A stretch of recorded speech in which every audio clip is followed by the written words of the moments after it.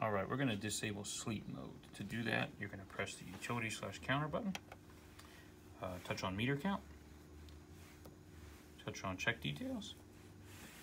Then we're gonna do, um, press a few of the hard keys here. We're gonna go stop, zero, zero, stop, zero, one. That's gonna put it into service mode. Once you're in here, we're gonna touch on system one. We're gonna touch on sleep on off choice setting. We wanna make sure that's set to permit. So if it's on prohibit, make sure permit is highlighted. Once you've done that, we're gonna click end and exit. Then we're gonna go to utility, administrator settings. Password should be one through eight. So two, three, four, five, six, seven, eight, and your OK button.